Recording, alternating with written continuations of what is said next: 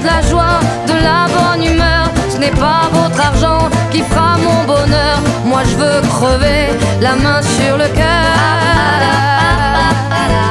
Allons ensemble découvrir ma liberté. Oubliez donc tous vos clichés. Bienvenue dans ma réalité.